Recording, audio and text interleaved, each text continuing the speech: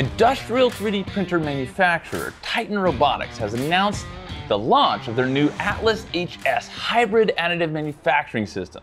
Unveiled at AMUG last month, the system comes complete with a tool changer that works with both a pellet extrusion head and a three axis milling tool head, enabling 3D printed parts to be machined during and after the printing process. Now, this thing is a massive printer. Like, we're talking you could probably squeeze at least 20 people if you really had to into this printer, with build volumes up to 1270 by 1270 by 1828 millimeters, and they'll even make you a custom size if you want.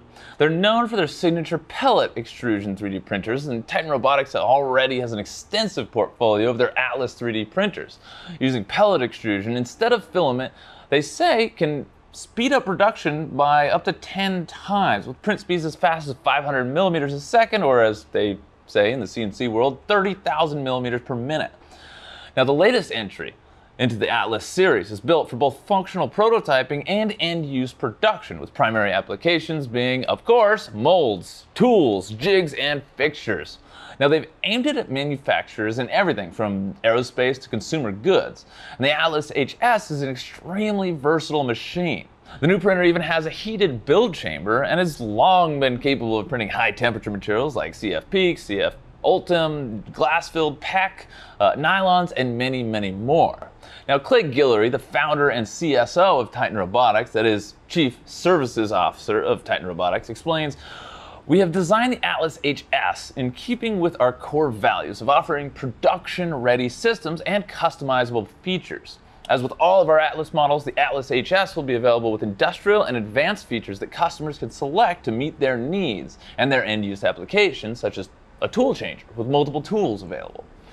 Now, like the rest of Titan Robotics systems, the Atlas HS operates on a three-axis CNC motion control system and a welded steel frame. Users can also incorporate custom features like IO sensors, air filtration, material dryers, as and when needed. Now, some things you don't find on other 3D printers include a chip collection system and spindle sizes up to a quarter inch in diameter and four inches in tool length. Now, these guys are doing great things out there in Colorado, so be sure to follow them on social media. I believe it's Titan 3D Robotics. And like this video to help it get more views, and subscribe if you want more news like this. Anyway, thanks for watching. Have a positive rest of your day, and I'll see you on the next video.